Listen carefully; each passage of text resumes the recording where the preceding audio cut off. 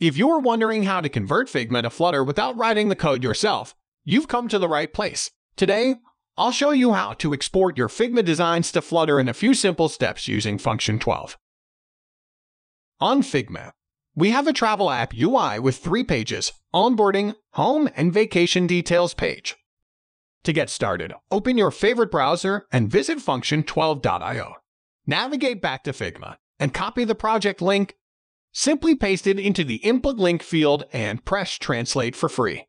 The application requires your Figma account details, and once you log in, it asks for your permission.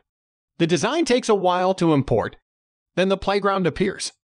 I almost feel like I'm using Figma. All of your pages are listed on the left side, similar to Figma.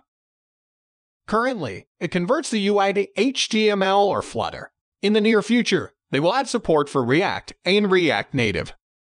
A great feature of Function12.io is that you can preview how it looks on your phone, and if there are any errors, it will show up.